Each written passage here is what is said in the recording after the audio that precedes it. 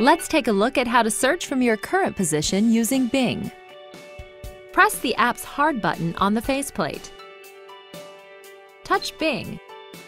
Then, touch Enter Search Word to search at current position.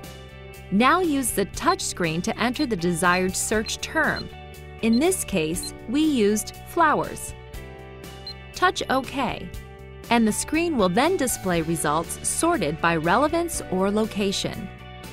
Select a desired search result to display address and phone number.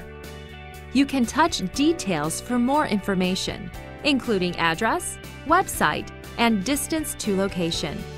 Touch the phone icon to call the desired location. And touch Start to begin navigation. Now you've learned how to conduct a Bing point of interest search from your current location. Let's take a look at how to search by category press the app's Hard button on the faceplate.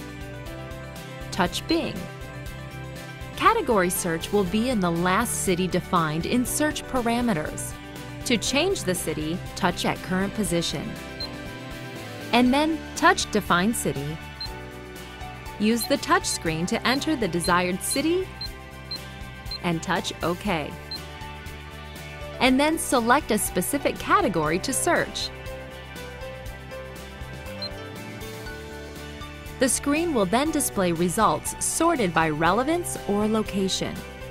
Select a desired search result to display address and phone number and touch Details for more information, including address, website, and distance to location.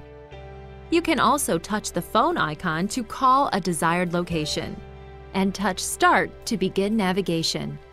That's how you can conduct a Bing search by using categories.